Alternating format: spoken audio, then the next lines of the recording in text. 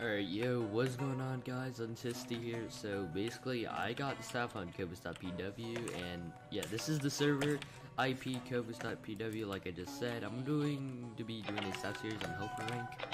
So yeah, I'm going to keep you guys updated, and HF is coming soon, by the way, so you guys need to check that out. But yeah, I'm going to play the trailer right now.